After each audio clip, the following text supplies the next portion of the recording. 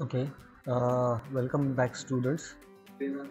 Now, here uh, we have the numerical in uh, GATE exam that is GATE uh, 2014. So, the question is an operating system uses the shortest remaining time first scheduling algorithm for preemptive scheduling of the processes. Consider the following set of processes with their arrival time and CPU burst time in milliseconds. So uh, this is what is given to us. There are uh, four different processes, ah, right, whose arrival time is given and burst time is given. And we have been asked to calculate the average waiting time. So according to this, uh, uh, let's just uh, try uh, for you know preparing the Gantt chart for it. so now i'm just uh, writing the mentioning about the uh, gantt chart over here. Right. Now uh, let's say uh, i am taking the first process for scheduling over here. Uh, right. And uh, that particular process is uh, p1 right uh, which will start from 0 and uh, uh, which will execute till uh, 12 millisecond. But uh, we know that at uh, 2 millisecond there is another process that have come inside the OS right.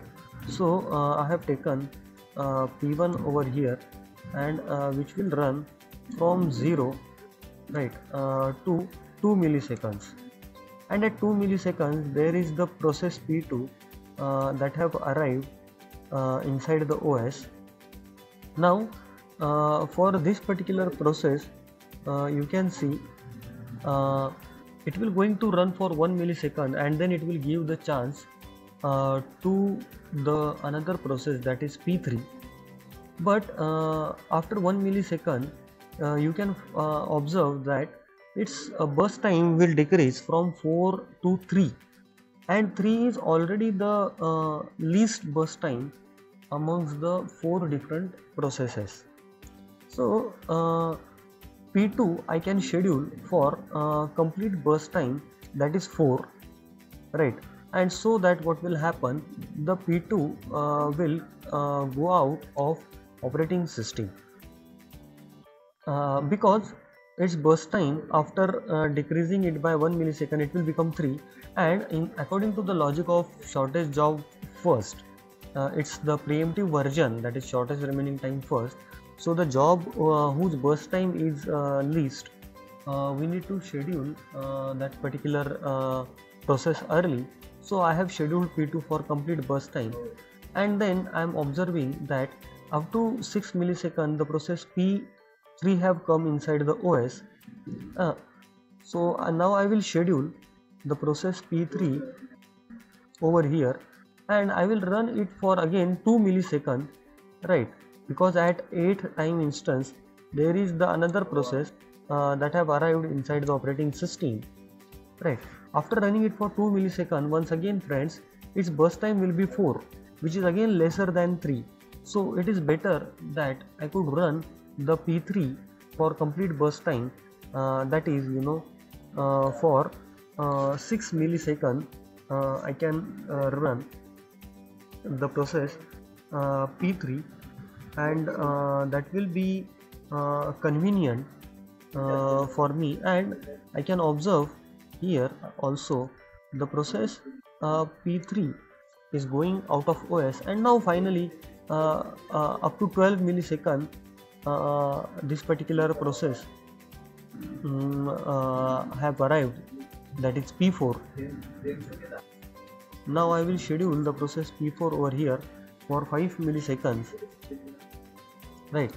So after scheduling it for 5 milliseconds I can observe that this particular process is also going out of OS and now only the uh, process uh, whose burst time is very large that is uh, 12 and 10 bus 10 out of that 12 the 10 units are uh, remaining. So you can observe i can schedule p1 now right uh, up to 10 milliseconds.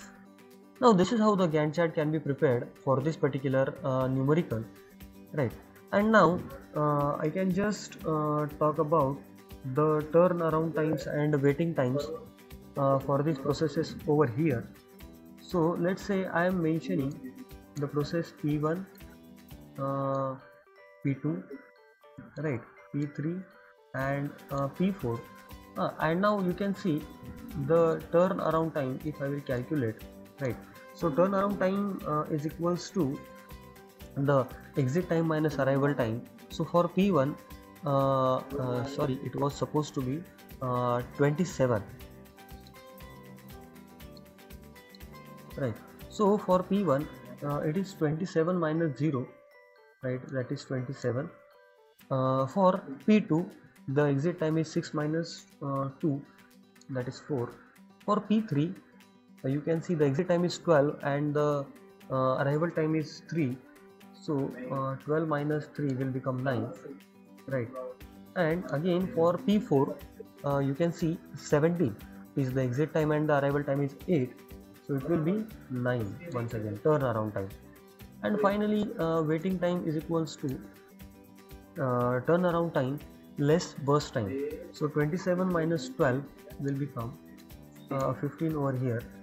Then uh, you can see 4 uh, minus 4 will become 0 over here. Uh, for p3 9 minus, uh, 6 will become 3 over here. And again 9 minus, uh, 5 4 right? Now uh, you can see over here just the question was uh, calculate the average uh, waiting time right? So i will calculate the average waiting time over here. Uh, that is you know uh, 15 plus 3 18 uh, plus 4 22 divided by uh, 5 sorry divided by 4 so so I will divide it by uh, you know 4 millisecond and then uh, after dividing it by 4 uh, uh I will get the answer uh, 5.5 so this is how uh, we can calculate the average waiting time for shortest remaining time first scheduling algorithm